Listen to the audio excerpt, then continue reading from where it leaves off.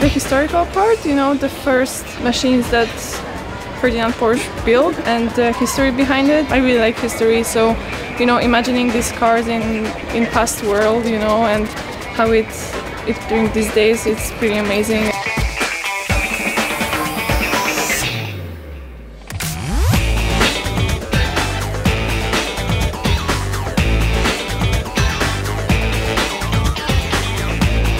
Engineering and motorsports is something that is really fun and interesting. So I'm glad that I had a chance to be here with Porsche and they explained a lot to me and hopefully I'm gonna have you know more time to do more detailed tour. Um, but yeah, we got a tournament coming up, so for sure there's something we need to focus on.